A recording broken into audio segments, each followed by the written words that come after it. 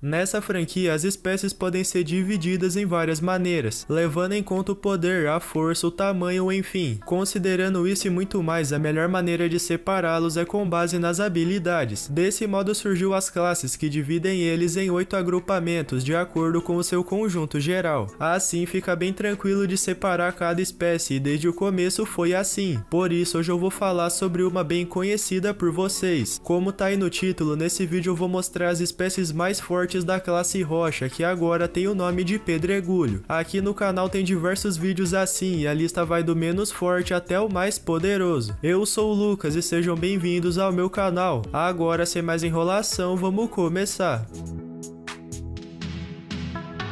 Antes de dar início na lista, vamos falar um pouco da classe Rocha. Ela, como eu disse, é muito conhecida e pertence à franquia desde muito tempo atrás. Ela apareceu lá no primeiro filme e até hoje continua em expansão. Para quem é novo e não sabe, nela podemos encontrar espécies com um detalhe especial. Geralmente, os que estão nela são altamente resistentes e possuem uma grande armadura corporal. Nessa classe, eles podem facilmente consumir pedras e materiais voltado à terra. Muitos também emitem explosões de lava e fisicamente são mais preparados do que a maioria. Não tem muito segredo, a classe rocha dentre todas é a que menos tem representante e mesmo assim é diferenciada. Bom, agora que todos acabaram de lembrar um pouco dela, vamos dar continuidade no vídeo.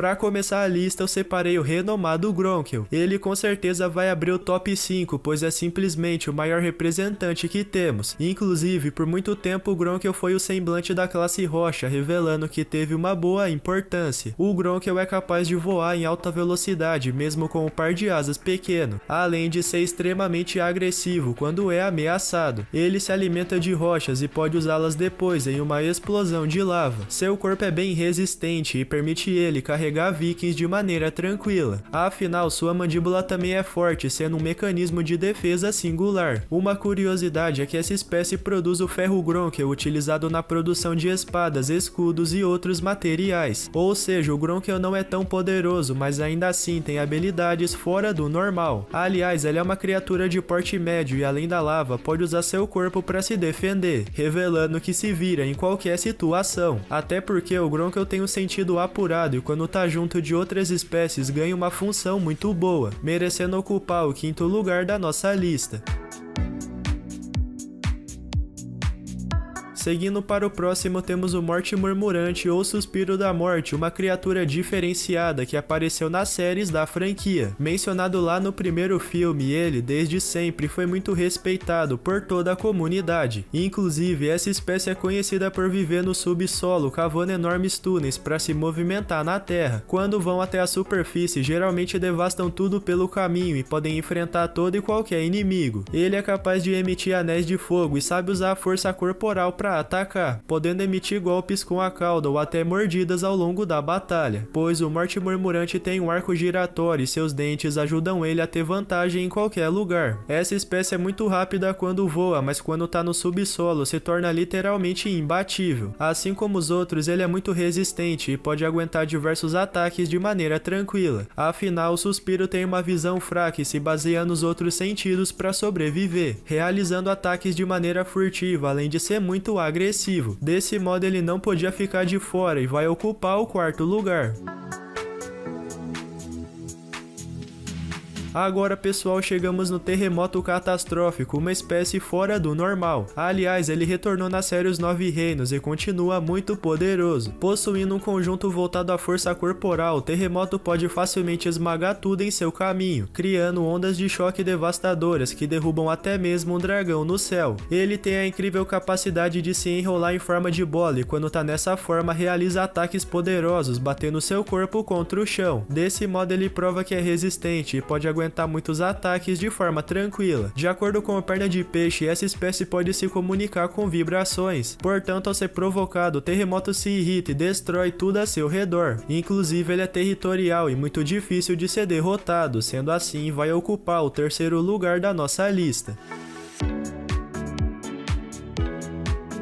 Chegando no próximo temos agora o Eruptidão, uma espécie muito famosa que apareceu em Corrida até o Limite. Ele com certeza é um grande exemplar da classe rocha e possui literalmente uma pele à prova de lava, podendo viver dentro de um vulcão sem nenhum problema. Aliás, ele se alimenta de lava e todo seu corpo é protegido por placas, permitindo ele de sobreviver nesses ambientes. Embora não seja agressivo, ele consegue disparar bolas de fogo e passa quase a vida toda dentro de um vulcão. Pode-se dizer que ele é benevolente e até o momento só vimos dois indivíduos da espécie ao longo da série. Muitos não consideram ele um dragão poderoso, mas na verdade o ponto forte dele é a armadura natural, podendo ser considerado o mais resistente da classe rocha e por isso vai ocupar o segundo lugar desse vídeo.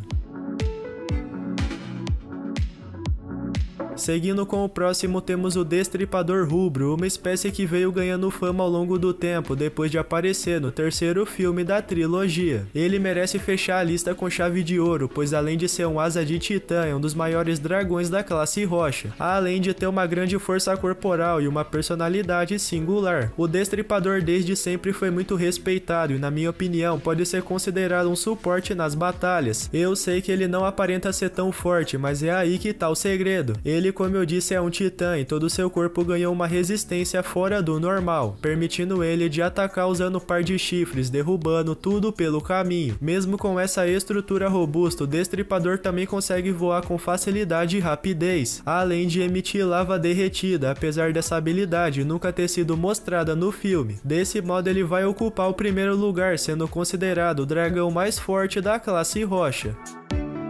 Pessoal, eu vou ficando por aqui e espero que tenham gostado desse vídeo. Se você gostou, não esquece de deixar o like, de se inscrever no canal e ativar junto o sininho das notificações para ficar ligado em todas as novidades. Coloca aí nos comentários como seria a sua lista e escreve também qual dragão da classe rocha você acha mais legal. Para quem quiser, o meu Instagram vai estar tá aí na tela agora e na descrição. Eu vou deixar o link do Seja Membro juntamente com meu servidor lá no Discord. Muito obrigado por chegar até aqui. Eu desejo a todos uma ótima semana, fiquem com Deus e até o próximo vídeo. Tchau!